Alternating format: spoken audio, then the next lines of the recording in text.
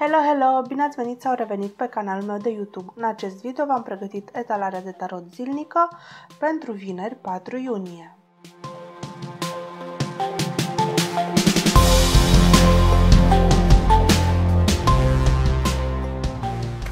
Hai să vedem pentru ziua de vineri 4 iunie, în care avem parte de trigonul dintre cei doi benefici, dintre Venus în tranzit în zodia racului și Jupiter care se află în domiciliu în pește. Hai să vedem ce mesaje putem scoate de la cărțile de tarot pentru această zi pe partea de dragoste, sănătate și bani, carieră, situație financiară foarte interesant.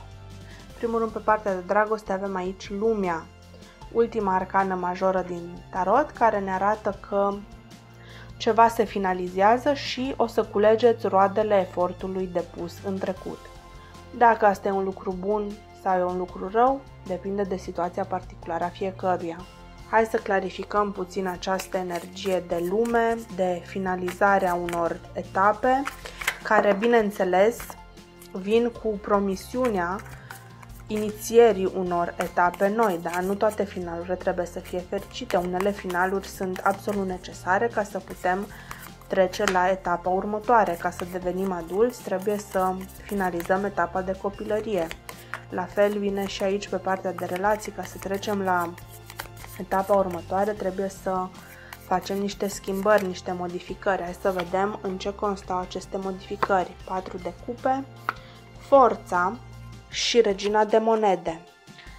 Se pare că nu e neapărat o modificare, o schimbare dorită, așteptată, pentru că aici cu patru de cupe nu sunteți tocmai mulțumiți de ceea ce vă oferă viața acum, de ce vă oferă acum Universul. Dar aici cu forța și regina de monede văd că ce se întâmplă acum aici pe partea de dragoste este pentru binele vostru fiindcă într-un fel sau altul vă obligă să vă găsiți puterea, să vă regăsiți vocea, să vă regăsiți autonomia și autoritatea și să deveniți independenți. Acolo unde în trecut erați dependenți de partenerul sau partenera voastră, acum, din diverse motive, pentru o parte dintre voi poate se finalizează relația, pentru o parte dintre voi poate că partenerul sau partenera are niște probleme sau niște obligații din cauza cărora nu mai poate să facă aceste lucruri pentru voi. Și aici voi sunteți obligați să învățați ceva nou, să învățați cum să faceți ceva nou.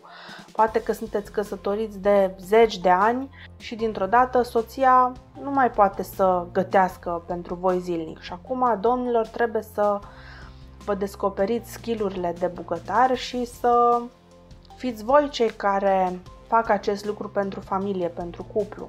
Poate sunteți proaspăt căsătoriți și unul dintre parteneri își pierde locul de muncă și celălalt trebuie să se reîntoarcă la job sau să se canalizeze mai mult pe partea aceasta financiară de a aduce bani pentru familie, de a asigura stabilitatea financiară a cuplului. Poate că sunteți singuri și sub acest tranzit plăcut între Venus și Jupiter, vă dați seama că trebuie să faceți aici niște schimbări la voi înșivă și dacă vreți să atrageți în viața voastră partenerul ideal, trebuie să începeți voi înșivă prin a deveni idealul pentru acea persoană pe care vreți să o atrageți în viața voastră. Aici lucrurile sunt pozitive, chiar dacă triggerul, chiar dacă evenimentul care vă obligă să învățați skill-uri noi, să faceți ceva nou, ceva neobișnuit pentru voi. Nu este neapărat cel mai frumos eveniment care declanșează acest lucru, această nevoie. În final văd că aici vă găsiți forța, vă găsiți autoritatea și o să vă dați seama că în urma acestei experiențe veți deveni o persoană mai bună. Pentru că aveți ocazia să creșteți, să evoluați, chiar dacă voi nu vă doriți asta, pentru că, bineînțeles, nu este confortabil să ieși din zona ta de confort, că de aceea se numește zona de confort, dar aici viața vă obligă. Se schimbă ceva în dinamica din cuplul vostru și acolo unde erați obișnuiți să se facă lucrurile pentru voi, va trebui voi să fiți cei care oferă ajutor, susținere, încurajare pentru cealaltă persoană. Per total, va fi o experiență pozitivă pentru că o să aveți multe de învățat și de crescut și dacă sunteți puțin maleabil și dispuși să treceți prin această experiență, cuplul vostru o să iasă mai solid, mai puternic, mai închegat din toată această experiență. Pentru cei singuri, trebuie aici să creșteți, să evoluați, să lucrați asupra voastră înainte de a putea atrage în viața voastră partenerul sau partenera ideală. Pe partea de sănătate avem aici șasele de monede. O parte dintre voi o să primiți un ajutor, foarte posibil să fie un ajutor material, mai ales dacă vă îngrijorați asupra modului în care o să puteți să acoperiți niște costuri medicale, un tratament, o terapie sau o intervenție. Aici văd cu șasele de monede că o să apară cineva în viața voastră care o să vă ofere acest ajutor material care poate să vină fie sub forma unei donații, fie sub forma unor bani primiți de la rude, de la prieteni, poate reușiți să vă împrumutați de la cineva sau poate primiți un bonus neașteptat, o mărire de salar neașteptată, vin niște bani la care nu vă așteptați, dar pe care, mare atenție, aici va trebui să îi cheltuiți cu un tratament, cu o terapie, cu niște medicamente, cu niște analize, cu niște vizite la medic, depinde de situația particulară a fiecăruia. Hai să clarificăm acest 6 de monede, cum se aplică pentru voi pe partea de sănătate, la ce vă puteți aștepta aici în privința sănătății. 10 de monede, 10 de săbii, Marele Preot. Ok, aici cu 10 de monede văd că ajutorul, susținerea, e foarte posibil să fie o susținere materială, dacă nu e cazul pentru voi, s-ar putea să fie doar o susținere morală, vine din partea familiei, de la niște membri din familie, fie că sunt rude de sânge sau sunt niște prieteni care vă sunt atât de apropiați încât sunt ca niște frați sau ca niște surori pentru voi.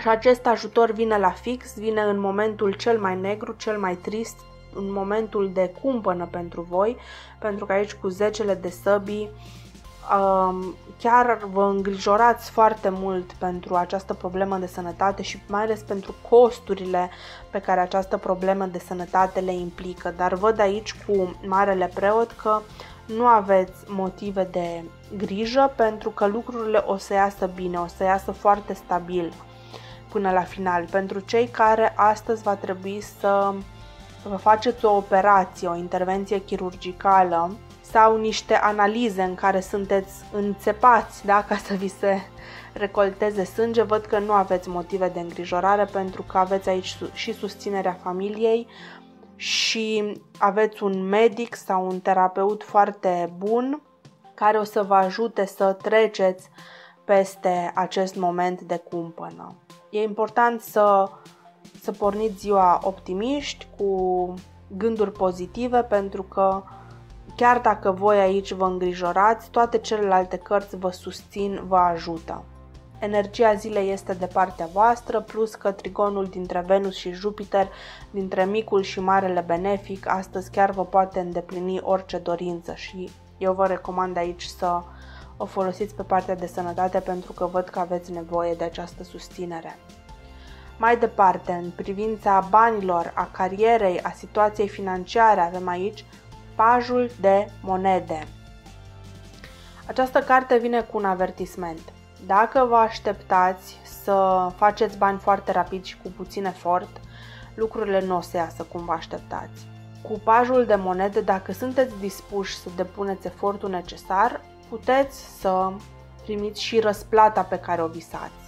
Dar aici atenție, că sunteți doar la nivelul de paj, mai aveți multe de învățat până când o să ajungeți la nivelul de cavaler, regină și apoi rege. Aici e vorba de o structură ierarhică foarte bine definită, de targete pe care trebuie să le îndepliniți ca să puteți să avansați de la un nivel la altul. Hai să clarificăm acest paj de monede, care este potențialul în privința banilor, a afacerilor și a carierei voastre. avem cinciul de cupe, cinciul de monede, treiul de săbii. Ok, văd aici foarte multă nemulțumire și foarte multă tristețe, pentru că aici ceva nu a ieșit în afacerile voastre, poate jobul nu a fost așa cum vă așteptați, cum vi s-a explicat la interviu, poate salariul nu a fost pe măsura așteptărilor voastre, poate efortul nu a fost conform așteptărilor voastre, aici ceva nu a ieșit, aici sunt trei cupe răsturnate, dar mai sunt încă două oportunități. Și aici mare atenție cu pajul de monede, pentru că sunteți încă la început de drum și nu e momentul să vă dați bătuți. Uitați-vă atent la aceste alte două oportunități care sunt aici pe fundal în, în afacerile voastre, în cariera voastră. Nu vă întoarceți spatele la aceste două cupe care încă pot să conțină în ele sursa răspunsurilor voastre pentru tot ceea ce vă doriți în privința afacerilor, a banilor și a carierei.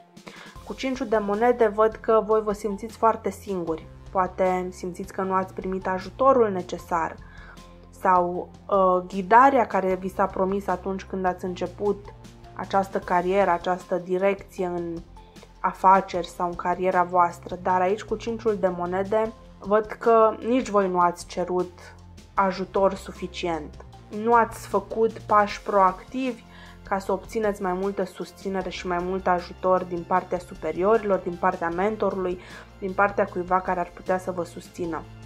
Și aici trebuie doar să vă uitați atent în jurul vostru, la oamenii din jurul vostru, la colegi, cu echipieri, la superiori, la oamenii de la care puteți să cereți suport, ajutor și ghidare, pentru că aici este cineva care e dispus să vă ajute și care poate să vă ghideze în direcția corectă.